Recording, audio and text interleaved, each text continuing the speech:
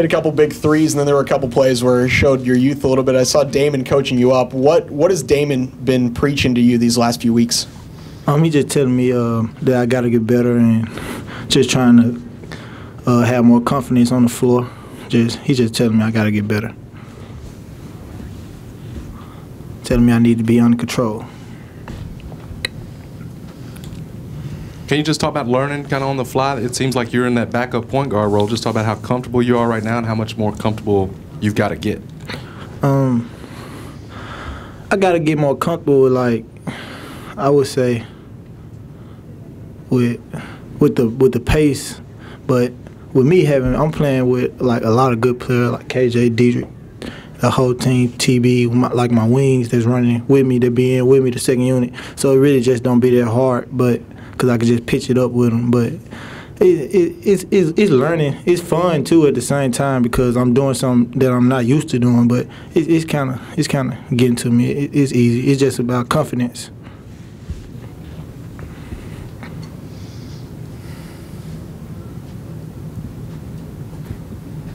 Uh, for KJ and for Deidre, did, did you guys feel the what was going on with the, with the energy early on? It seemed like it was a little bit of a lackluster start. And then talk about the press, and it seemed like once you guys slapped that on, it kind of changed the game. Let's go KJ first on this one.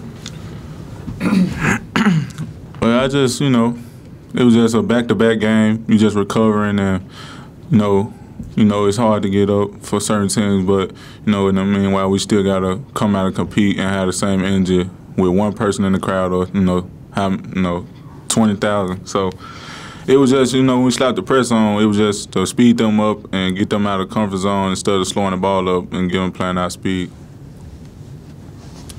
Uh, I believe the thing is just self motivation, just um, using that extra edge to get yourself motivated for the game and going out there playing against no matter if it's Oklahoma or Grambling, treat every team the same.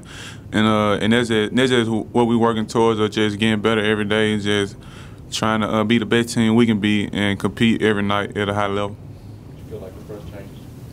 Yeah, the the the, the uh, press it most definitely has sped the game up because a couple of those guys they couldn't handle pressure as much, and they were fumbling with the ball. They, they started to um, play in our favor because we like to make turnovers, speed the game up, and that, and that's what we did.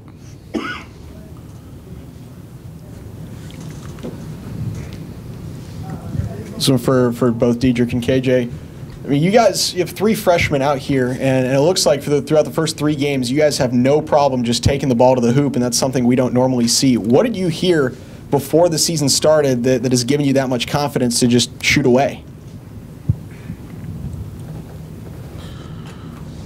Well, first off, uh, I got a lot of confidence in myself. Even even coming in off a bad game, I just feel like you know, once I get myself together and get to the rim, is to put a lot of pressure on the opposing team, and it'll help our team better on defense when you get in the other team in, you know, uh, foul trouble. So, you know, I've never been scared to drive the ball on any level. So that's that's the main key.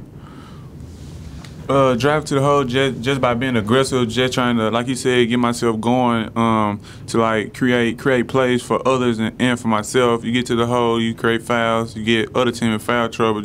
It's just creating problems all over the court, basically.